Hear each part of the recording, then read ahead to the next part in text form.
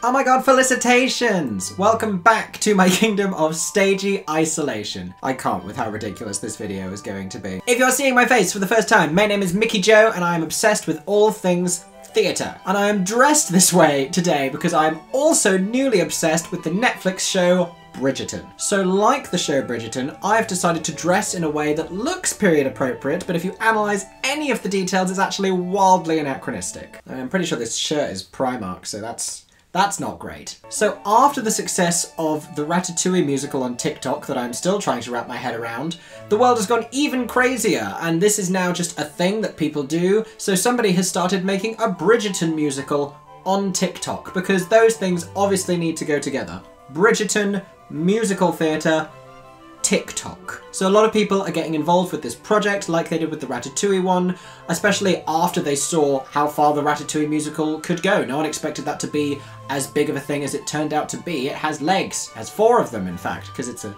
because it's a rat. I was incredibly late to the Ratatouille hype train because I was dubious about it and I didn't really understand what was going on.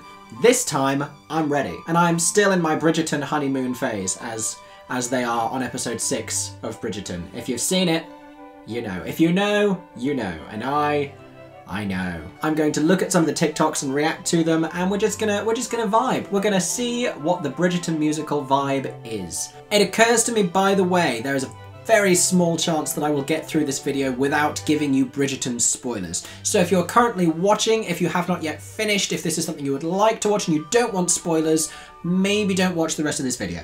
There's a Bridgerton the musical. TikTokers have written some tunes. Stay tuned to find out if it's good. So a lot of it has come from Abigail Barlow, who from what I can tell is a big TikTok contributor. She is a songwriter who writes her own music and is writing songs for the hypothetical Bridgerton musical. Okay, but what if Bridgerton was a musical? what a beautiful party. I'm looking up at the ceiling. I'm obsessed with the accent switch that she's American but does a pretty convincing English accent. Sorry, guess you forgot. Or maybe you're not sorry at all. Also beautiful voice. What a beautiful evening. I want to know just what the hell are you drinking? Sort of my Stoic, emotionless over a saucer quickly. If you've seen the show, there are literally so many scenes that go like this, where they're just like forlornly staring at each other across a, a fancy ball. This could be from any single episode. This is called Daphne's Song. She's the main character. Am I the one to blame?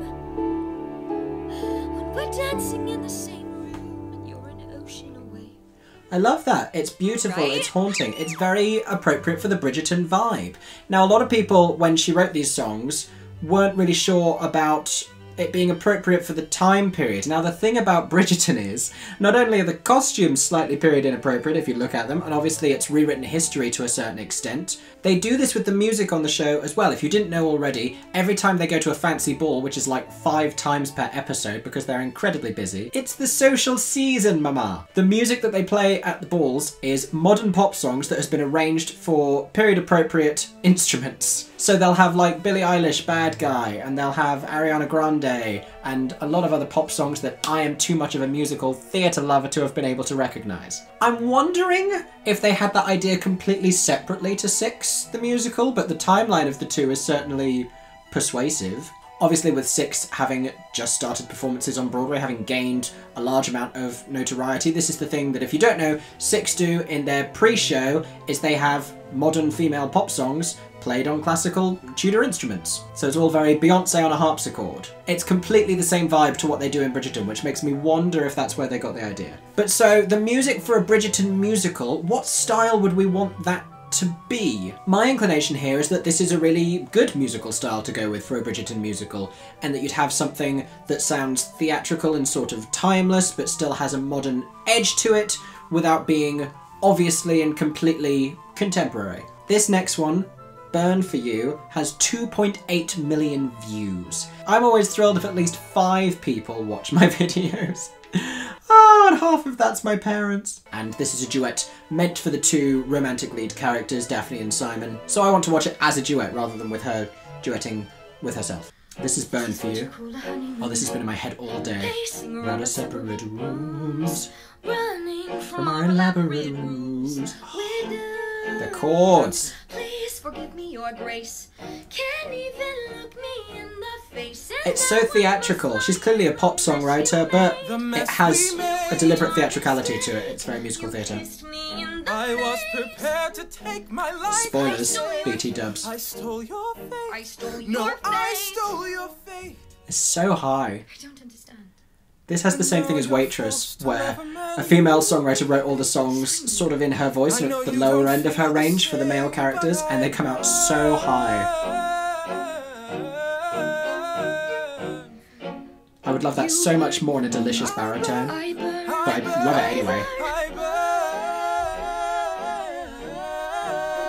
Harmonized riffing. Oh, is there anything more romantic than harmonized riffing? That again reminds me of Waitress. That's very. I know what's right for me. That was neither of the harmonies, but you get what I was going for. I really love that song, and I think that's been one of the most popular ones that Abigail has released so far. It really captures the intensity and the passion of their relationship. I like that that's clearly a start of the song. I would want it to then break into some sort of lush romantic end of Act 1 duet. Unless Act 1 ends when they kiss in the maze.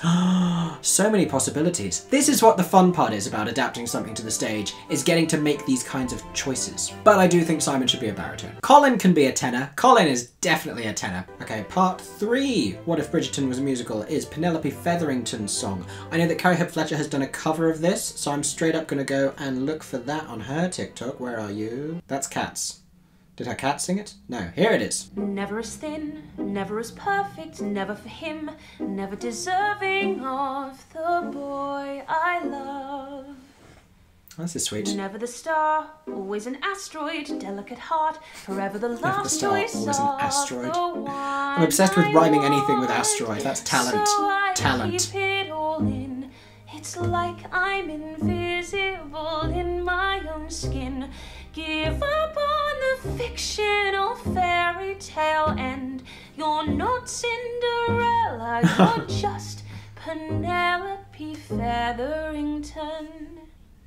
Penelope Featherington is the most awkward name to ever have to try and scan into a musical theatre line. Points for trying. I love Carrie's little aside nod to the fact that she literally is going to be playing Cinderella in the West End as and when the world ever reopens. I like that song. That one's been really popular. I've seen so many uh, girls doing covers of that on TikTok. I feel like I like the other ones more. It's just kind of a nothing song. That's the one I'd skip on a cast recording if I'm being perfectly honest. And when you're at the early forming stages, you don't want to be writing songs that are skippable. You want everything to be a banger. Only bangers. It also has that whole like plinky plunky like blink, blink, blink, blink. That's the backing that a few of these numbers have, and it's sort of starting to grate on me a little bit that it's just a lot of similarity. I'd like to see more of a difference in musical styles. Which, to be fair, the next song has. This is one of my favourite characters. This is Eloise Bridgerton. I have already watched the video of Abigail singing it a bunch of times. I'm going to go to this video, L Choreography, EL Choreography, who has choreographed dance routines to all of the Bridgerton musical songs because they clearly have an awful lot of time on their hands. And so I want to watch this choreography with this song. I guess I have to be a lady, smiling and waving, constantly obeying. This as a concept. prince to come and save me, even if I don't need Although I question where in the world this is that they're able to do this in the middle of a pandemic. I raising the babies we made all alone. I guess mean, if she can dance like that while belting, I'll be wildly impressed.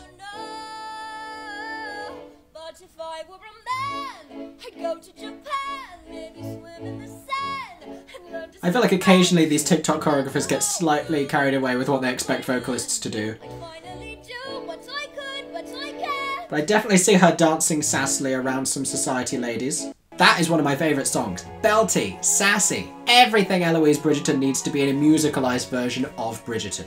Someone's done a Playbill cover. What does it look like? Oh, it's Daphne. It's like a silhouette Daphne. Is she gonna have eyes? I don't think she's gonna have eyes. Oh, that's beautiful. Hmm. Okay, no, I have a few issues with this playbill design. Why is she blue? First of all, I want it to be spring colours. I want it to be blossomy. I like the flowers at the top. I don't like the dark background. Why does she not have eyes? I know this is like a trend thing, but I question it. If she just wants to be a side profile, that's quite of the era, but don't give her eyebrows and not eyes. Also, she would not be the playbill cover unless she's like a massive star in the role but it's not about her it's about her and simon. It is equal parts about the two of them. It is a romantic love story. We need a playbill cover that has both of them on there. Has anyone done that? Someone has! Here we go. We have a playbill design. Oh beautiful. Yes. Oh they're both so attractive which is what makes the show very watchable. Look at the detail on that dress. Yes she has eyes. Yay for eyes Oh, you know, even in line drawing, he's very attractive.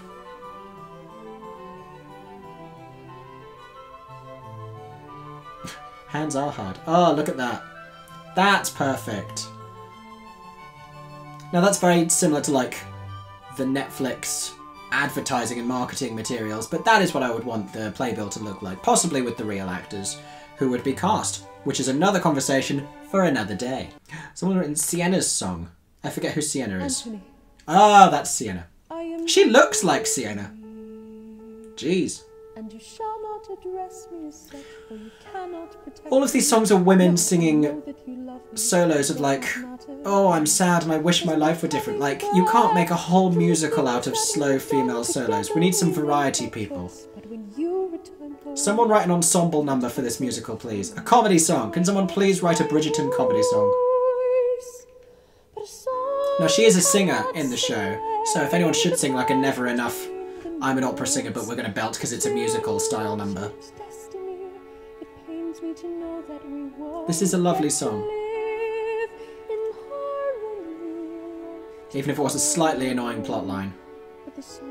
Will they? Can't they? They try to. They give up. He wants to. She wants to. They bang under some bleachers at a very public boxing match. But this is like the vibe of the Bridgerton musical so far. What do we think? I'm curious as to what people think about this compared with Bridgerton the TV series, compared with other musicals you know, compared with the Ratatouille musical on TikTok. Let me know down in the comments what your thoughts are already. Have we really seen Regency style and period in musical theatre? There was a Jane Eyre musical, it wasn't super successful. I feel like there's definitely been Pride and Prejudice musical adaptations, again, not wildly successful. So, of the big sort of Austen and Bronte novels, they've definitely been theatricalised more successfully as plays. We haven't really seen a musical adaptation.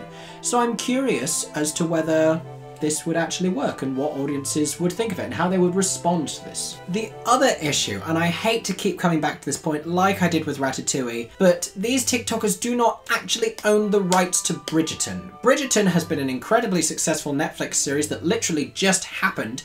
If you look at how long it took them to get Frozen from the film to the stage, it took a fairly long time, even when they saw how wildly successful it was, and I'm sure that this was an idea they were having very early on. As soon as Greatest Showman came out in cinemas, they were talking about a stage version. We still haven't seen that yet. All of the Disney theatricals were significantly after they had been released, like decades later. Frozen is probably the fastest screen to stage adaptation that we have seen. Most of what's becoming popular on Broadway now in terms of film adaptation musicals are films that happened years ago. Stuff like Beetlejuice, stuff like Heathers are very, very old films. So the likelihood of us getting a Bridgerton musical with this kind of immediacy I think is unlikely. And Bridgerton has been so successful that the producers of Bridgerton are going to want to capitalise on that with more seasons. I'm pretty sure it's based on eight books, so we could have eight seasons of Bridgerton on Netflix before they finally let us do a musical version. So I'm enjoying this, it passes the vibe check. I'm going to keep talking about it on YouTube. I would love to see where it goes, just to see this kind of creativity. I think it's a great thing, but I'm not convinced it's actually going to happen. Perhaps I'm wrong. Change my mind in the comment section down below. And let me know who you would cast in a Bridgerton musical, because that's what I want to start thinking about next. Thank you for watching this video. If you did, make sure to go and check out the other musical theatre videos on my channel. There are plenty, because I've spent the past year